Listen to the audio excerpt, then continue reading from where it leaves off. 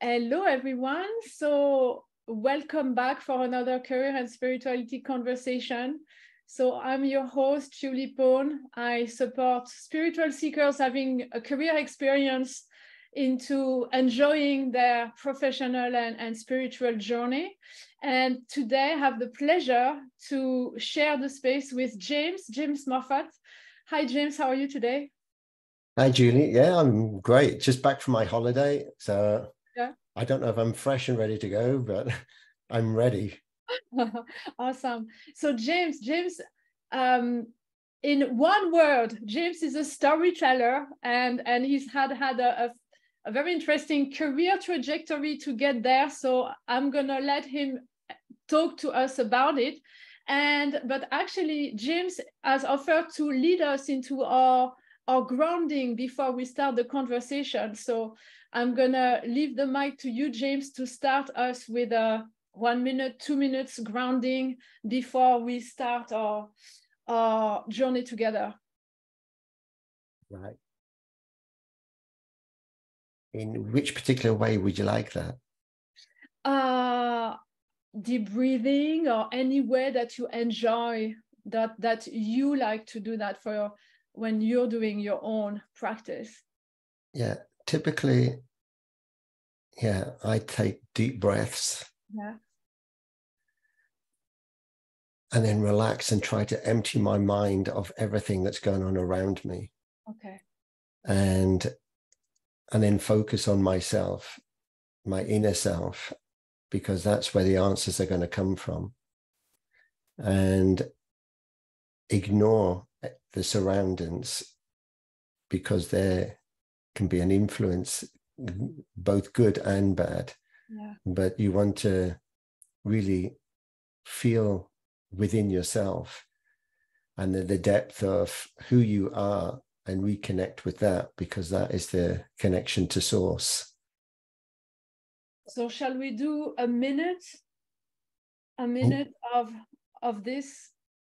Mm, yeah. I, I will let you take the lead actually okay. in this. Okay, awesome.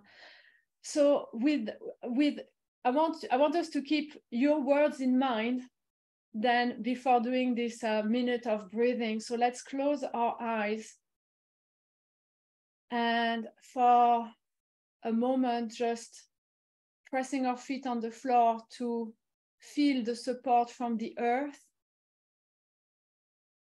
and then bring our attention back into into our chest into our heart. And imagining as if our breath is flowing in and out through our heart.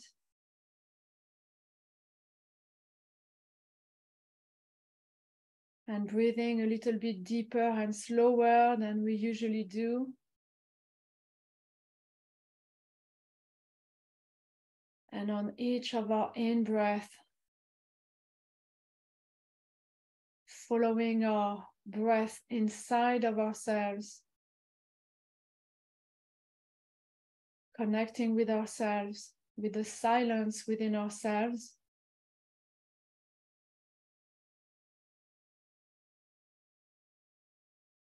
Giving us the space to listen for a moment.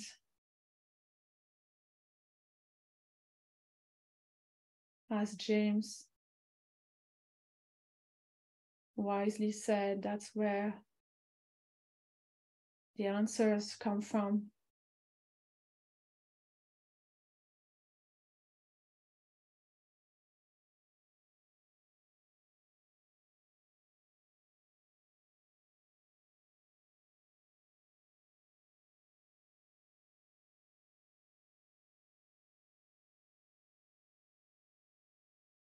Wonderful.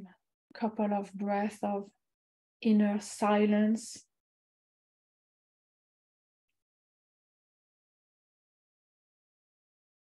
Before starting our conversation. So, whenever everyone feels ready, we can open our eyes again. And welcome back. Hello again. Hello. Oh, hello, thank you. uh, thank you for your words, James. Sometimes I'm leading this uh, grounding with um, with a sense of um, openness towards the outside. And it's nice sometimes to change the perspective and bring it back, uh, you know, in a different way and reminding ourselves that of our connection and, and know, knowing to be comfortable with the silence within ourselves so and that connection. So thank you. And um, so that gave gave us a little already a little insight into your you know your practice. So that's actually going to be my my first question for you is what's your relationship to spirituality your connection to spirituality? And after that we'll link that with your career trajectory. So feel free to intermix the two if that's you know if it comes about but um I'm curious about your spiritual journey first right I, I think during your life you have different awakening times. And a lot of the time, the signs are there, but you don't actually see them or you don't recognize them. And as a child growing up, I felt there's definitely a connection somewhere with something, and I didn't know what it was. And I'd had a a mixed background with different religions within the family yeah. and from parents, and being subjected to churches, to synagogues, to to having girlfriends that uh, were very deep into religion, either born again Christians and so on. And so I was very open minded and I went along to churches, I went to synagogues, I, I, listened to the religious education at school. But I was a critical thinker and a questioner. I questioned everything. And I think even as a child, I wanted to know the answers that nobody could give me. And I thought, how can there be so many religions and so many people believing in so many different things surely looking around aren't we all the same and and so searching for answers that people just dismissed ah you're just young you're just adolescent you're, you're just learning uh, and stop all these questions just kind of get on with with life and yeah stop philosophizing kind of thing. And I, I, found in the teenage or, or, later years, like when you're at parties with friends and and maybe you have one drink too many, you're lying on the grass in the back garden, gazing up at the stars in a group, and and then you start philosophizing again. Then you start asking the same questions, and other people ask the same. And then the next day, you either got a hangover and, and you just get on with life and forget about it.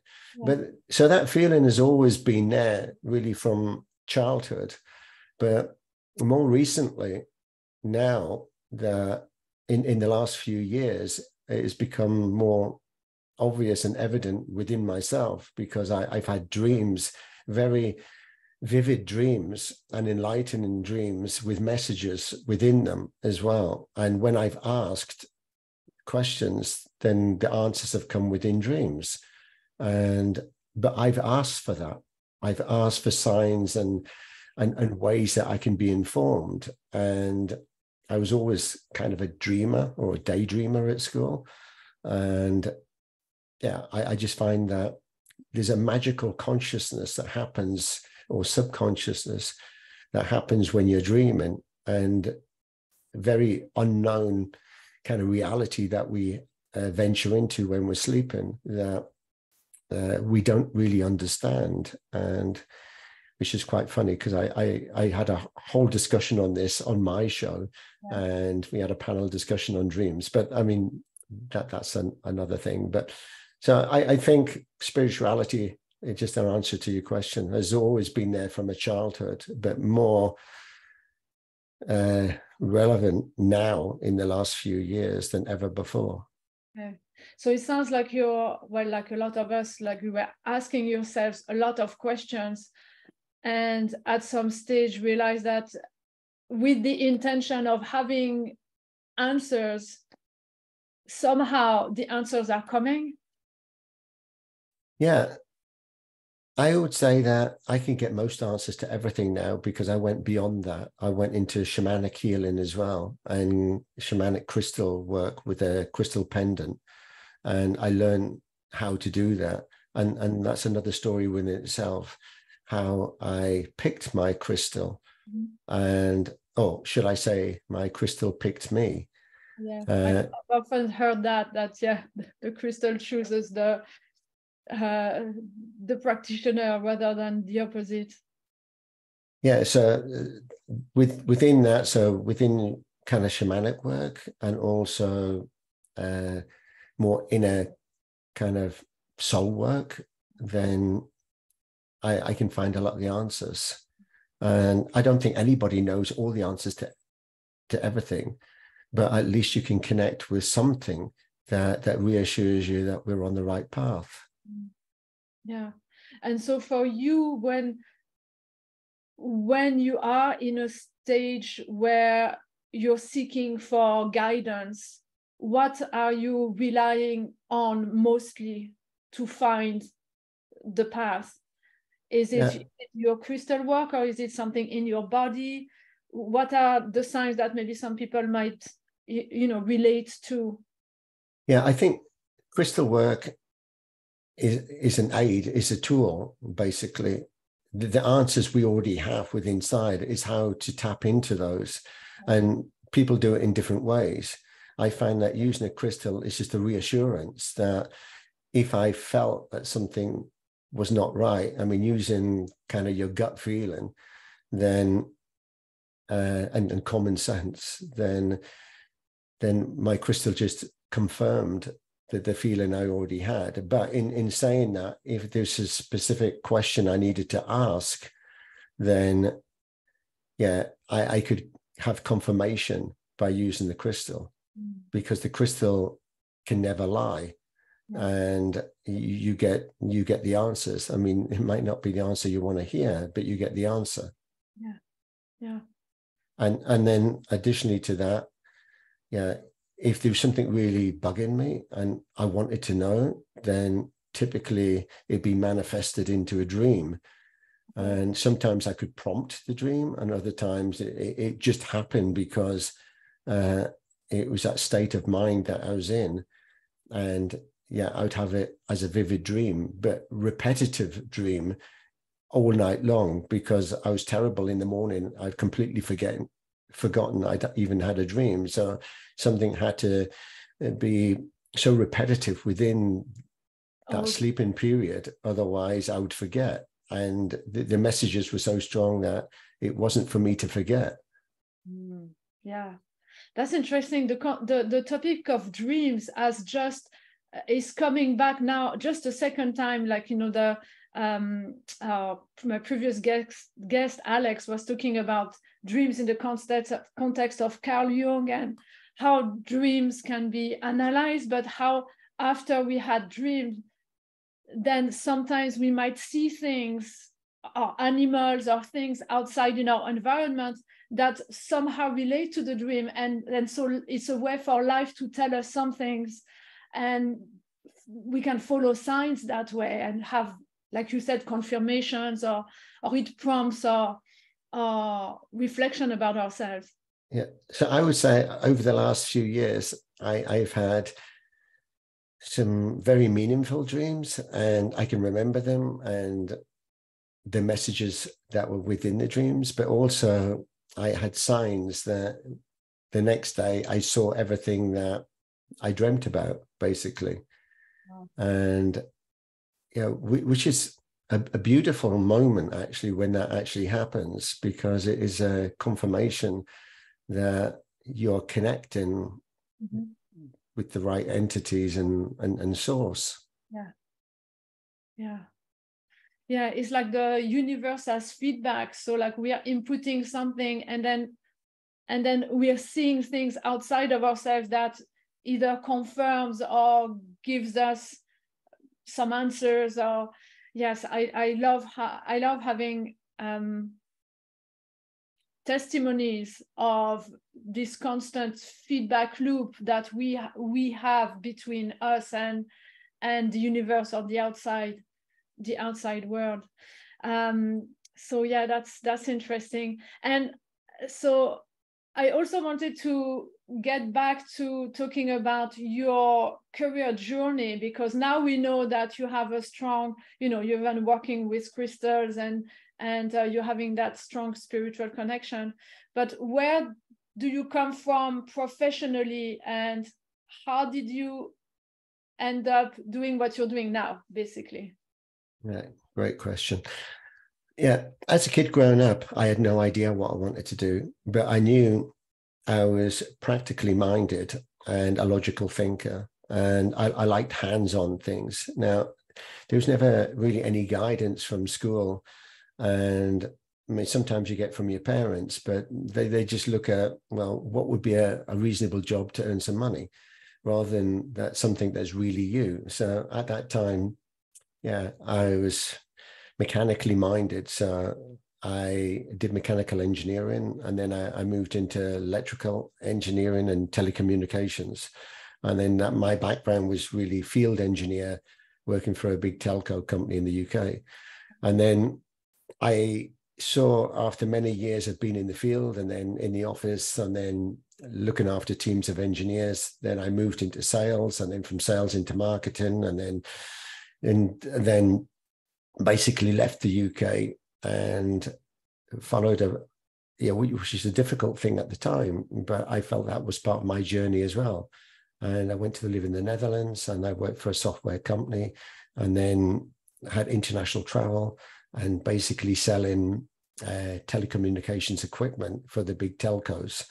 And that got me, yeah, in, into a different kind of era in my life in the way that uh, I felt there was a focus there, but I, I still, even though I was young and I experienced endless travel, like weekly plane journeys around the world, uh, after 20 years of that and many, many different companies and in senior roles, I decided it, it well, it wasn't really for me. I was already feeling that I wanted to do something different and I was fed up with the travel. It, it, I, when you're young and single, it's great, but when I got married and got three small kids, and it was the birth of my twins, right? So this is seven years ago that I couldn't travel anymore. I didn't want to travel anymore, and there's a lot of pressure on. If you're heading up sales and marketing, then you have to be out in the field and you have to support. And I didn't want that anymore, but I didn't know what I wanted. So basically, I had the ultimatum of am I a houseman or am I a salesman? And obviously, the houseman. So uh, my priorities were with the family. So that's when my career kind of came to an end. And I was completely lost, disillusioned, fed up, frustrated, and at an age that what what am I going to do? And I, I find that there's three fundamental questions that you ask in your life. One, as a child, what will I be when I grow up? And I had no idea. I mean, apart from saying like spaceman or whatever. Uh, then when you're in your kind of midlife, you ask again, what's it all about? Which I wrote a great blog about. I wrote, what's it all about? And in brackets, Alfie. Uh, I don't know if you've ever seen the movie with Michael Caine. Oh yeah, it's great. Anyway, so what is life all about? I had no idea. I had no direction, and I didn't know what I wanted. And I felt unemployed with three kids and really lost, completely lost. And then there's another time that you ask if you haven't found what it is that you're looking for, is when you retire. You ask what's next and I don't want to spend a whole life searching for something. And I find that most people never really know who they are. actually, statistically, 99% of the population never know who they are. And yeah, there's a difference between existing and living. And if you're lucky, you can exist, but most people are not really living. They're not living their purpose meaningful life of the passions and the desires that they want. So, yeah, what I do now is, I mean, I haven't found myself.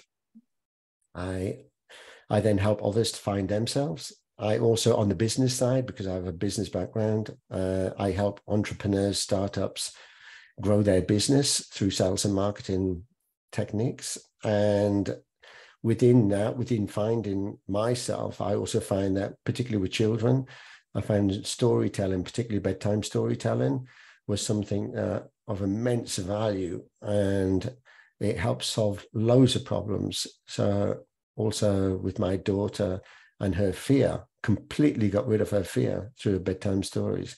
So, storytelling is basically the umbrella of everything I do. So, and so I have a program called School Kit for Life, and I I can do it in groups for school kids, so I can do it individually, and it's all about uh, the power of stories to to solve emotional challenges.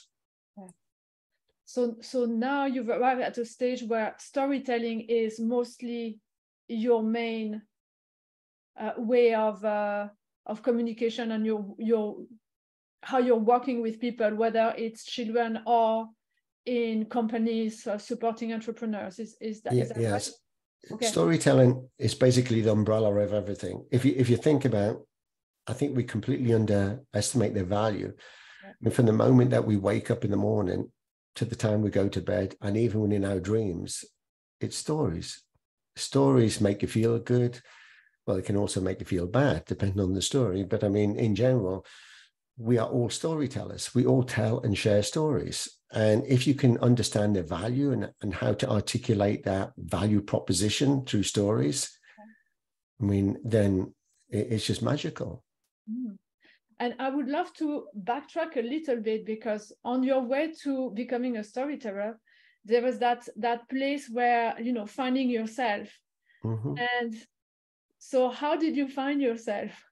Yeah. So as I said, I, I was made unemployed.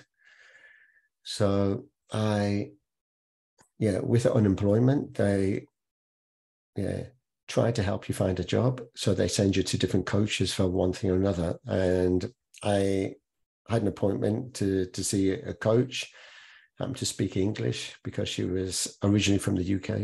Mhm. So helped me because living in Switzerland, I mean, in the German speaking part, uh, it wasn't so easy, right? Uh, and and particularly to express yourself, I mean, English is far better for me. So I went to this coach and I, with my CV in my hand, and I was thinking, right, we're going to do some looking at the CV and how I can improve it. Anyway, she said, she only asked me a few fundamental questions, but she was a business coach, but also a life coach. And she, she practiced something called Ikigai, which I had ne- never heard of before. So, so she said to me, right, I don't see any problem with your CV. What's the problem? And I said, Well, I, I'm not actually interested in the jobs that I'm applying for. And she said, The problem is, what I believe is you don't know who you are. And I thought, What sort of question is that? So I said, Of course I do. She said, well, Who are you? And I said, Well, I'm James. And she said, I, I didn't ask that. She said, I know you're James. I've, I've got a form that says James is coming here to see me today, right? I know. She said, Who are you? And I couldn't answer the question. So every time she asked, Who are you? I said, The, the father of three children. And she said, No, I never asked your personal situation. I asked, Who are you? Who is James? So I couldn't answer. Every time I tried, uh, she said, No, no, no, no. And she said, To, to spare your embarrassment, she said, You're not alone. 99% of the population don't know either if you ask them the same question. So they'll always reply back their name. And I never asked what their name was. I asked who they are.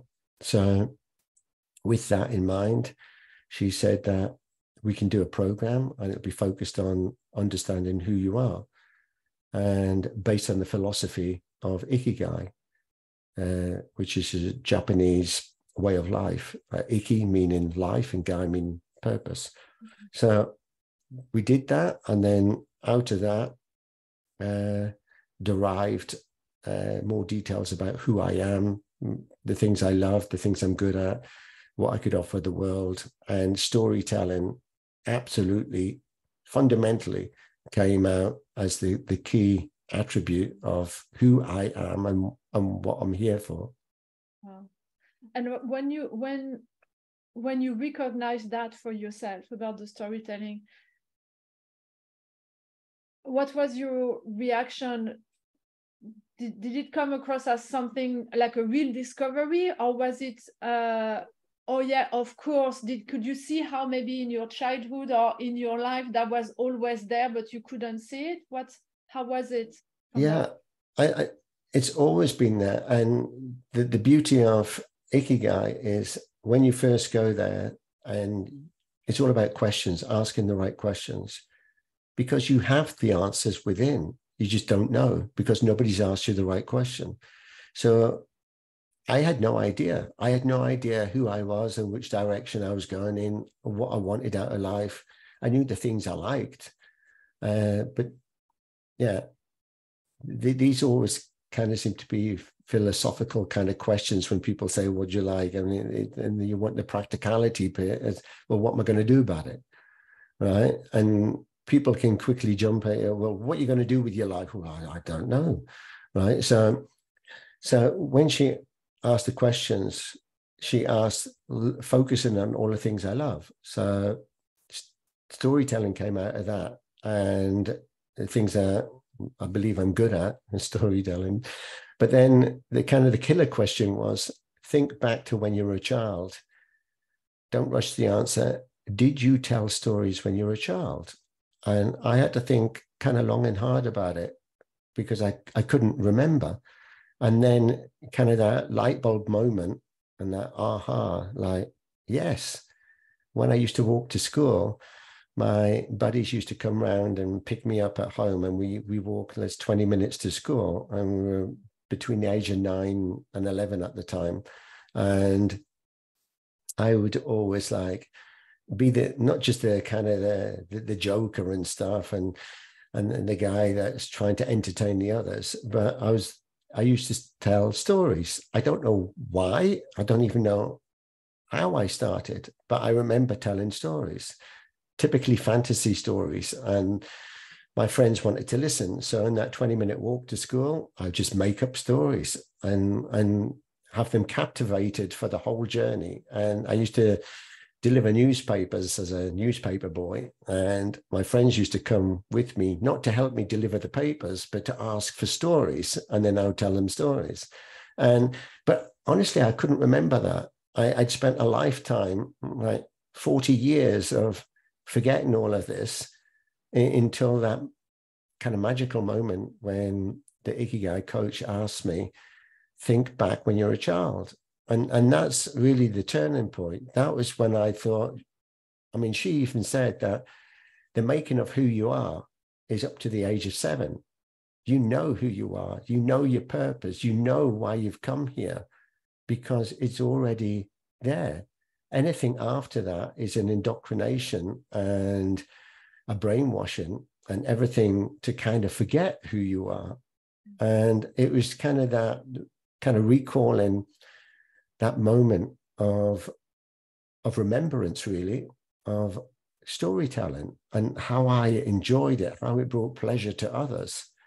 And and then yeah, even as a salesperson, when I was selling products and things, I was never selling the features and functionality. I was wrapping it up into a story, right? Kind of typically the the problem, the solution, the results. I mean, the start, the middle, and then the end. And people would remember the story. They wouldn't always remember the features and functionality, but they would remember the story.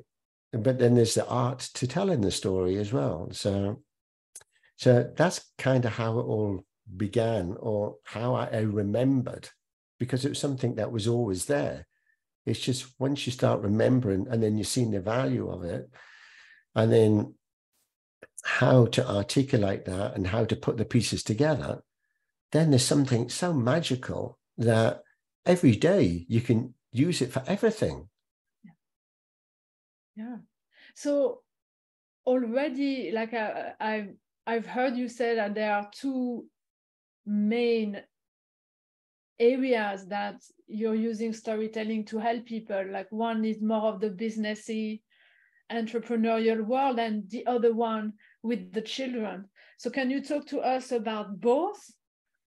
Yes. So in, in the business world, that I mean, I also had a mentor as well, and I learned particularly with startups how many startups fail and why are they failing and also how do they pitch when it comes to for investment okay. so I, I was trained on basically perfecting your pitch mm-hmm. uh, by an industry veteran from the Shark Tank, a guy called Kevin Harrington, right? And don't ask me how much it cost me for that mentoring, but uh, anyway, a great guy and taught me a lot.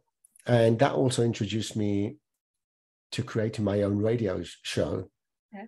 But we'll come on to that in a minute. So uh, he said that that for pitching, when a startup pitches, then you need the ingredients for that. I mean, his three parts or parts of the ingredients that he said you need to tease the audience, please the audience, and seize the audience. Mm. And I didn't like that. I mean, I loved it at the beginning because it taught me a lot. Uh, but then once I started thinking about it, and particularly when you have children, you don't like the word tease. You're always telling them stop teasing. So I thought, I don't want to tease people. I, I want to connect with people. Right. And then so that it was tease and please. And I want to, yeah, please them, but it's all about communication. So I want to communicate something of immense value. Mm-hmm. And then I want to convert them to my desired outcome. So I called it my three C's. Yeah. So connect, communicate, convert to a desired outcome. And it, if you use these three for everything, it, it works because it, it made me think that a comedian, if a comedian wants to have a, an audience to tell jokes, then the, the comedian needs to, first of all, connect with the right audience that like that type of joke, then communicate something, which is the story or, or the joke, and then he needs to convert to a desired outcome, which is to make them laugh, right? So he needs to take them on that journey and then get the desired outcome in mind, which is the laughing. So, and so he's converted, converted them into laughing. So it works in absolutely everything. So if you think about a startup pitching, he needs to connect to the audience, which could be the investor, right? Uh, communicate something of immense value that has the investor like on the edge of his chair that wants to invest, and then convert to the outcome you have in mind is the investor to invest. So it applies to absolutely everything. So then I created my own program on that. So that was for the business world. So in uh, storytelling. Do you want to tell us about your program for that? Yeah. So basically, I, I do a program both for the business world, which is all about, I mean, that, that's just one small part of it. I have my, yeah, I, I use acronyms a lot. So I have my three A's as well. Yeah. So I, before I can help with any business, I have to A, first A, assess. Uh-huh. I mean, it's like the doctor patient analogy you yeah. go to the doctor the doctor can't help you unless he has asked questions so he's kind of assessing So the first one's assess and then uh, adjust. So adjust what's working, what's not working, right? And then you can accelerate. So accelerate the business forward because you've made the adjustments. So, but within that are the three C's as well, because if you want to articulate your value proposition through stories, then you need to understand your desired outcome and how to obtain it. So, but that it's the same principles for everything. It is common sense, basically. Yeah, and I'm talking, I'm even thinking about people for uh, job interviews, like uh, yeah, like the, the a way to talk about to talk about ourselves that will, you know, uh, make us stand out. Yeah. So everything is about looking at the desired outcome. What do I want to achieve and working back from that? So if it's a job interview, I, I want to at least get through to the next round, right? So how am I going to do that? So I need to then piece it up into chunks. So, so how do I start? How do I introduce myself? Or if I'm asked to to tell a story or introduce me or or my track record or history or education or employment or whatever, how do I start? And without being boring. And then what's the middle bit to keep them engaged that they want to hear more, but also without rambling on too much that they want you to shut up. So, and then get your desired outcome in mind is get to a point that you're leaving them on like you've hooked them. They want to know more. So don't give away too much either. You want them to ask questions. Yeah, good point. Yeah. Yeah. And so and so that's for the like professional storytelling and now for the uh, storytelling with children which i think you're very passionate about. Yes uh, when my eldest son he's 10 now when he was younger and he, he could uh, have bedtime stories so i don't know four or five at the time and i would read bedtime stories with him. Uh, typically mr men books right? You, Mr. Men. You know the Mr. Men books? Mr. Men? No, I don't know. All right, you got like Mr. Strong, Mr. Small, Mr. Tall, Mr. Yes, sir. Oh, yeah. Okay. Whatever. I used to pick them up at the airports when I traveled, and they were great for bedtime stories. But I would change the words and just use the images for, for a couple of reasons. First of all, I didn't like the stories always on how they they read. And when it's dark at night and you've got the lights low, I couldn't read the text. So, right, I, I had to make it up anyway. So, but the making them up was more fun because it was your story then. But anyway, one day my eldest son, Tom, said to me, Daddy, uh, I would like stories about my adventures. And because he was fed up with the Mr. Men books, and although we did try other books as well, he said, and I said, well, what kind of adventures do you want? And he said, what about going to the moon? So, so anyway, long story short, uh, I thought, well, there's three components to a story. There's a start, middle, and an end. So let's try and put a theme to it as well. So he has a fluffy rabbit called Doodoo, right? And so I thought, what about, because I love the word marvelous right? Every, every time I traveled and people said, How are you? I would say marvelous. And particularly in the Netherlands, marvelous became a word that everybody used in the workplace because I would always say marvelous and then to repeat that back. And but so we called it the marvelous adventures of Tom and Doodoo. And the, the, first, very first story was going to the moon. So I thought, how can we put it in a way that is educational, entertaining, and not too long because it has to be a short bedtime story.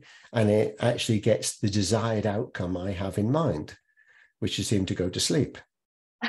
Yeah, yeah, not forgetting the, the right. ultimate goal.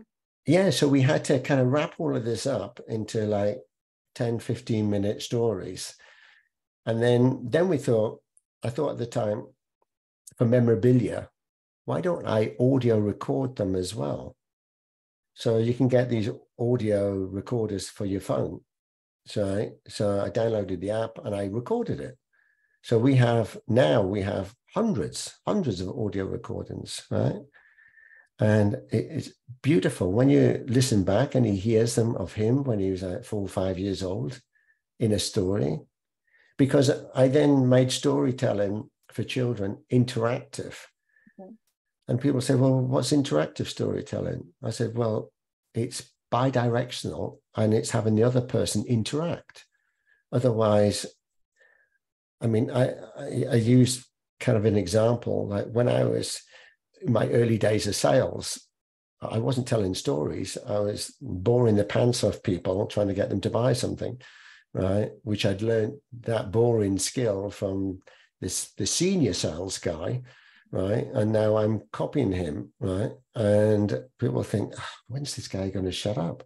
and looking at their watches, think, oh, it's coffee break time now. So I thought, if you make it interactive, like everything interactive, storytelling's got to be interactive, then you keep the audience engaged. And if you, you just think back to the comedian, the comedian doesn't like just ramble on until he gets to the punchline. They're, they're normally interacting with the audience.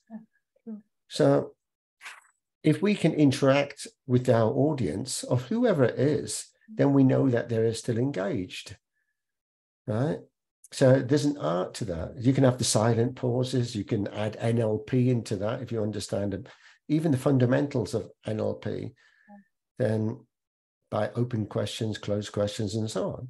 So then kind of blending what I'd learned about sales and entrepreneurialism into bedtime stories and then seeing how that worked and then what would be the outcome of that. And could i then in the end it, it was actually reverse engineering what i learned from the doing the bedtime stories with the kids i then used in the business world right? And so i took parts from the business to kind of the bedroom and then from the bedroom back into the business from the bedroom and, to the boardroom yeah, from bedroom to boardroom. Actually, that could be a program, couldn't it? Yeah, well, it depends which be- bedroom, though. We got to be careful with that. yeah, I guess all this political correctness, you got to be careful what you say. So, anyway, we started uh, the marvelous adventures of Tom and Doodoo going to the moon. So we wanted to start it like every day. It starts the same. So it would start off I was taught about the hook. You need the hook to get people going, the headline, right? So you've got to think yourself like you're the editor in chief of a newspaper, and what sells a newspaper is the headline and the story.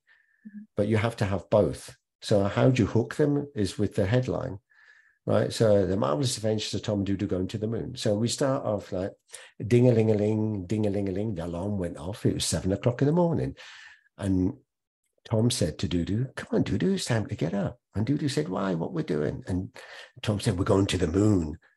And Doodoo said, But how? How are we going to get there? And Tom said, We're going to build a rocket. And then, anyway, so it starts off like that in the morning. And then they go down, have their breakfast, they get dressed, they brush their teeth. So there's a routine there. And then, so that's the, the front bit. Then the middle bit is they're building the rocket and going to the moon. And then the last bit is to come back home and they share their story with their family, then they get the pajamas on, brush their teeth, and go to bed. Yeah, they're tired from from a journey to the moon, right? Yeah. So we created our first book, which is here. Wow! Oh, it's awesome. Right, and and in there it's got all the illustrations of going to the moon, Tom and Doodoo. Right, Tom and Doodoo going to the oops. Mm-hmm. I don't have the best camera today on my Zoom. And and then in the end, I mean, yeah, then they're going to bed. Yeah. The right. so so that, that, that that was the first book we did uh, quite a number of years ago now. And then when we had the twins, mm-hmm. uh, a boy and a girl, then I, I did it, took it to a whole new level mm-hmm. because I did the twins together. So when you have two kids interacting, we create the most magical stories. And as I said, we audio record most of them yeah. because if I can't tell them a story because I'm busy, then they listen to the recording of a previous one and they you can hear them laughing in bed right? But i always believe that if a child goes to bed with a smile on their face and something memorable and fun then they don't have nightmares or bad dreams or they're, they're relaxed they want to go to bed. And and the desired outcome as i said that i had in mind is to get them to go to sleep right? So in the end they even because it's interactive i'm asking them like in the story, like to, to talk and, and share so I can steer it. So they're interacting. So the story is as much theirs as it is mine. And I'm more the guide. And it's their story. And yeah, it, it's beautiful. So, so I, I do that with kids, with parents, also teach parents the art of interactive bedtime storytelling. And I tell you, it transforms kids and, their parents. The, the, the bond now that you have with your kids is absolutely inseparable through the power of stories. And you were and, telling me that there is like eh, nearly also a therapeutic aspect that you know you had an experience of helping your daughter with. Oh yes, as well. So, so my daughter, when she was around five. She had a, a fear of everything. She wouldn't go outside the house. Uh, it was a challenge to get her to, to make friends and do anything. Uh, she wouldn't do any sports or activities, and she was basically a recluse and introvert. And so I thought, Let, us try something out. Let's just try storytelling, but rather than looking at her with the, the problem, we'll introduce the, the, they used to have lots of stories going to the farm.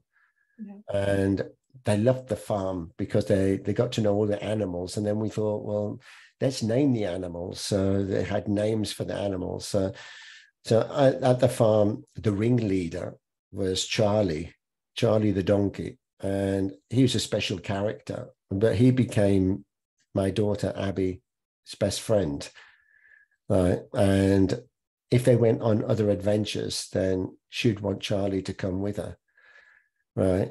And Sam, her twin brother, he would pick Gorilla because he likes monkeys and things. So he'd pick Gorilla.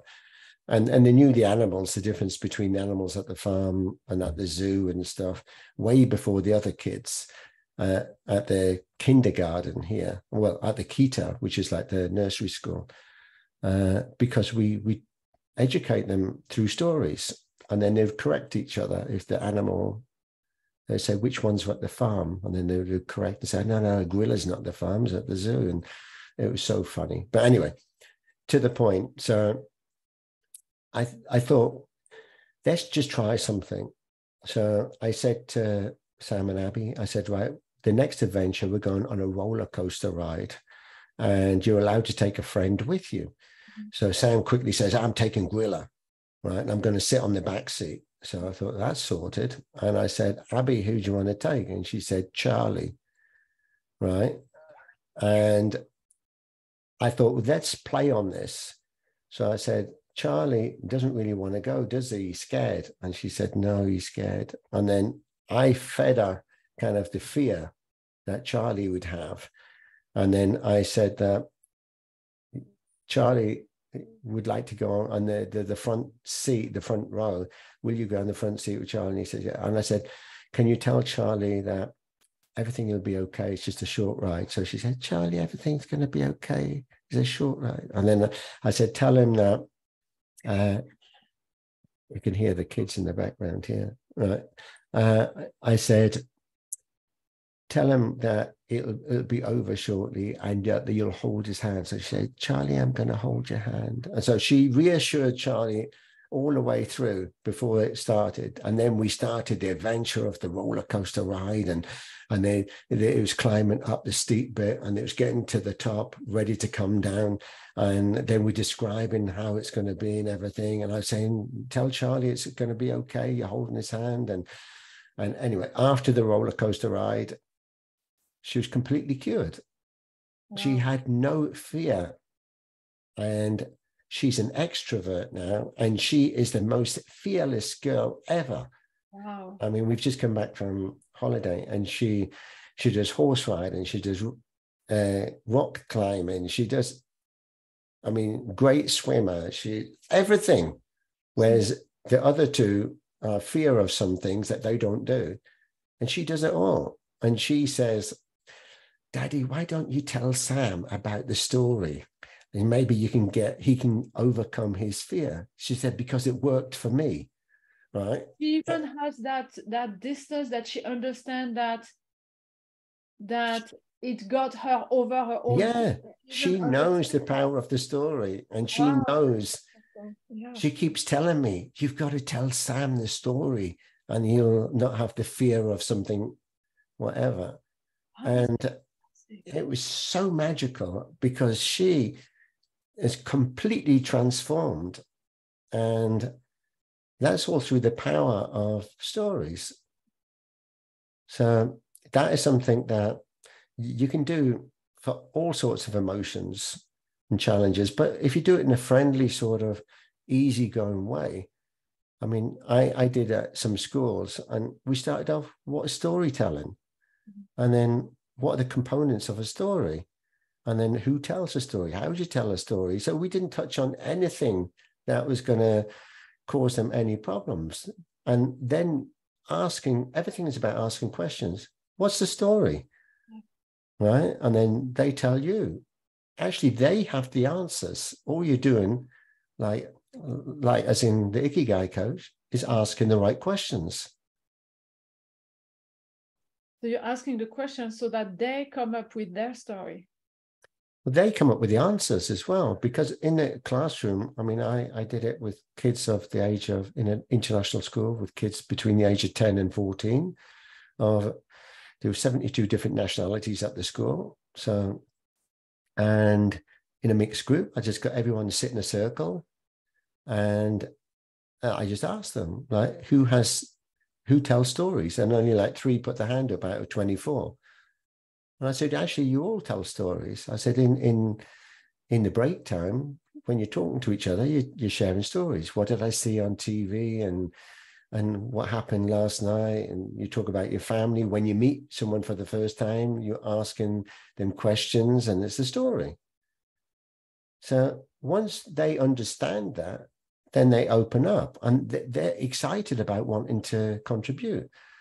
And then then you ask them for the answers. Like, like I mean, you could take it to the next level. You could address fear. What is fear? I, I could say what my fear is, but it doesn't mean we all have the same fear. So then when you ask them, say, what is fear? And then get them to answer. Then once one starts answering, others want to join in.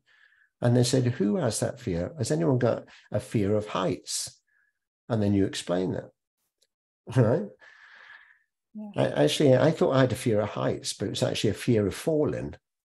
Oh, interesting. There was a difference because I'm okay in an aeroplane because yeah. I feel relatively safe. But if I'm on a, a, a swing bridge or, or, on a rope bridge crossing between two mountains or something, yeah, Different I wouldn't story. be particularly yeah. feel safe. So it was the fear of falling. Yeah, uh-huh.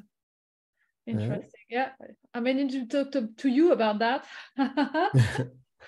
yeah. But, so yeah. So, so you, you know you you've developed something a program or something specific for for schools or for children yes so i have a program called school kit for life Okay. And it's all about storytelling and but also identifying either trapped emotions, emotional challenges, and even if you just want to learn the art of storytelling, because everybody tells stories, but uh, some are good at telling stories and some less so. So once you understand how you tell a story, then you can articulate the value of that story in a far better way. I mean, and then it can be used for everything. It could be used like, as we mentioned earlier, job interviews, pitching a product, getting investment, whatever. Just communication, even day to day communication with our loved ones. I mean, exactly that also. Like when you're falling out with a partner, mm. what's the desired outcome you want to have in mind to kind of rectify the situation? So, a story. Um, I actually, funny you should say that my wife wanted to go away for a weekend with her old colleagues that she used to share with when she was a student an apartment. So if she'd just come to me and said like you're gonna i'm gonna wait for the weekend. You're looking after the three kids i'd say okay no bloody way right? But she she did it without even thinking. Yeah. but so we do it naturally. But if we understand how we do it then we can get the value across much better. So she she had to connect. So using my 3C, she had to connect with the right person, me. She's not going to tell the neighbor. right? So she had to connect with me. Then she had to communicate something of immense value that, and then drag it out, show me like the emotional side as well. Like, oh yeah, remember the, the, the girls I used to share apartment with all those years ago, and the, the wonderful times and memories, and and then like, and then make me feel guilty that oh yeah, she needs to see them, and then so that's the communication bit, and then the convert is to her desired outcome, which was me to say, "Oh yes, yeah, I'm happy to look after the kids and go," which she did, and I and then as a bonus, I was saying, "And how much money do you want for going?" right. So there is a way that you can do things. Uh, if you think about it, you know, it, it's all common sense and logic. I mean, there's no secrets to it. It's just about putting it in a way that you naturally do. Just think about doing it before you actually open your mouth. Yeah. So James, because we we are nearly, you know, we're coming towards the end of our, our session. Uh, is there one question that I haven't asked you that you would love to answer? Yeah. So with the storytelling, I I, I mentioned like with Kevin Harrington as my mentor, he suggested the radio. Yeah. Right. Because I was looking at the other entrepreneurs and I was thinking we're all struggling to grow our respective businesses. And, and the biggest challenge that we face is visibility. And then once we've got visibility, is then how to make an impact with it. So I thought, well, everybody's using visibility and impact, right? So I looked up visibilityimpact.com and it didn't exist. So I thought, how can it not exist? Right. So I registered it. Right? And then I thought, well, how can I help others create that visibility? So speaking with Kevin Harrington, he said, why not the radio? I thought, the radio? How can I do something with the radio? I don't know anything about the radio. So anyway, in Switzerland, there is uh, World Radio Switzerland, WRS, out of Geneva, and it's in English. So I contacted the, the director and I said I wanted to run a program that would be kind of a podcast. Uh, and to showcase a different business each week. So, anyway, long story short, we did that for six months, although it cost me a fortune, right? Because it's a commercial radio and you could only have five minutes airtime, although that five minutes was put out five times a week at different times. I mean, it, was good and it worked, but it wasn't personal. And I wanted something that you, you could talk to people and, and there wasn't really a time limit per se. And so after six months of doing that, then I created my own podcast and I called it Featured Business because it's about featuring a business. So I've now been doing that for three years or so. And yeah, I've had 134 guests, uh, is once a week, typically every Friday. And the more diverse guests, the better. And normally, kind of the airtime like this it, it's an hour and a half so it's like an hour of the recording but there's some preamble and some chit chat before we get going. And it can have an audience if if the guest wants an audience. If not it's recorded and put on youtube and the audio is on spotify. And everyone's welcome to be a guest uh, just have to contact me. And I, actually, Julia, I'd love you to be a guest because I want to hear your story. Oh, yeah, well, I'd love to be a guest. yes, absolutely. It's a yes. it's a yes from me. excellent. It sounds like the Eurovision. oh no, that's a X Factor, wasn't it? It was a yes oh, from me. oh yeah, yeah, it's a yes from me, for sure. Uh, yeah, thanks, thanks a lot, James. Yeah, I appreciate the invitation. But anyway, you're opening this is an open invitation for anyone who has like who would want to you know to to contact you to be on the show. Someone who has just an yeah. interesting story or business to promote or what's yeah typically typically it started off with kind of business owners and startups. So young startups typically there were in Switzerland because I'm based here. So out of the universities that they created a startup. So they just formed as a team. So there'd be one person, typically the the founder, mm-hmm.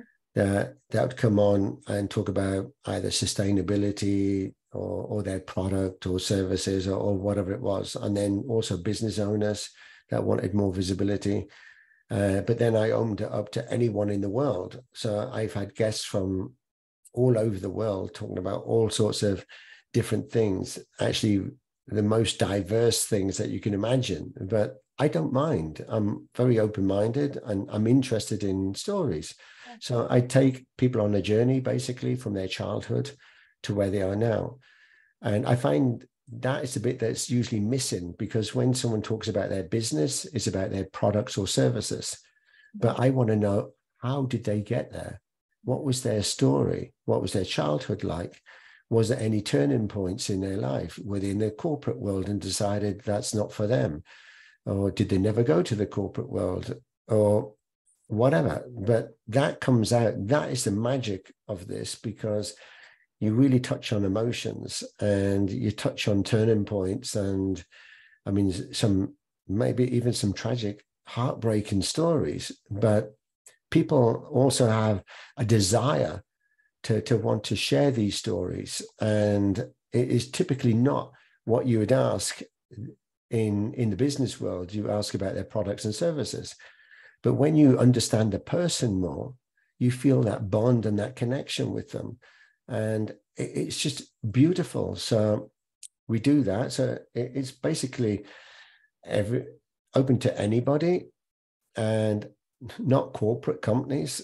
That's not really the audience, unless it's a key public speaker that could be used as an as a an inspiration for others. But typically, the sole proprietor, business owners, or or startups, or people have just got interesting stories. So also, I mean, as an example, I've had people talk about that the healing properties of microdosing with mushrooms that, uh, there's very we do it for three fundamental reasons. It's it's to inspire others to educate because some of these things are so educational right? And then the most important is to bring hope.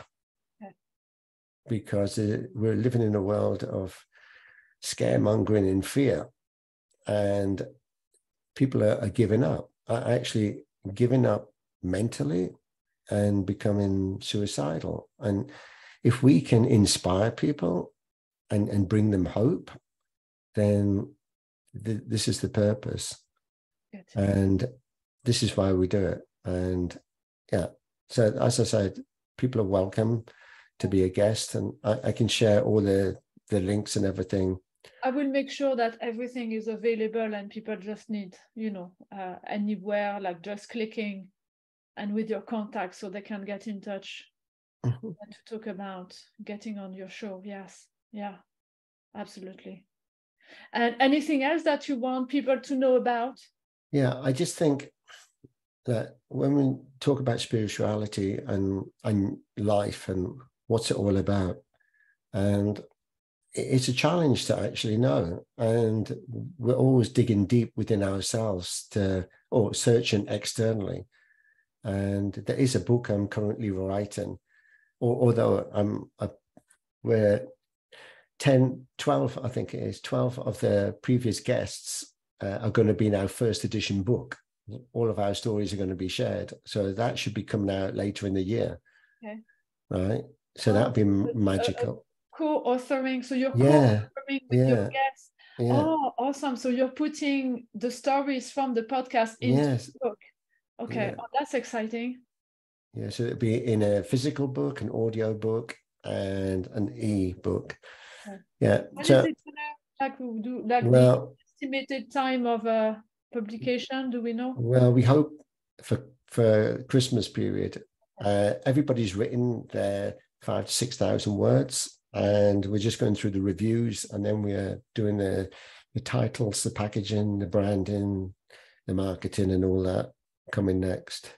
So maybe you're coming back on uh you're coming back here to talk about it before, yeah. you know just before it comes out. Yeah then that'd be good. I mean so it's magical stories and actually writing yeah writing stories and actually sharing. We, we found over the last year of, of doing this collectively uh, we've created this bond also with each other and these like 12 people that don't know each other. They've just been guests. And but also the stories that they're sharing are very very personal and deep. And it's kind of a self-help group as well because we've noticed this as we're reviewing each other's. And yeah it, it's become kind of a an emotional roller coaster ride for for all of us but magical. Yeah. And yeah, a personal development uh, program wrapped up under the disguise of a of a book public publication. Yeah it, it really is. I mean you need more of that. So i've got another book i'm i'm busy writing as well. It's called the universe within your mind. Oh. And because there is a universe in there and so much to explore. And it's about going to the different levels of consciousness and also touch on dreams, what dreams mean, the messages within dreams, and how to connect also with source and many other things. So, yeah, th- that one will be a magical book. Uh, do you have an ETA? Do we have an ETA for this one? No, because I I'm trying to finish off the other one first. Okay. If if money wasn't a problem, I would just write books, write stories, like and listen to stories. I mean, I do my my podcast is is great fun because you meet the most magical people. I mean, really special, beautiful people and when they share their story quite openly with a complete stranger, then there's that trust as well that has to come into that. Yeah. Well, again, I agree with you. I certainly agree with you. Yes. Such a such a journey to to open up a space for other people to share and then the learning that I got, I only have a fraction of the number of guests on my you know on this conversation that you've had. And already the the learning uh, is fantastic fantastic. So it, it is. I mean i feel that this is who we are when we can connect and talk like this. We don't need the materialistic things and, and the tvs and and all the, the lies and propaganda.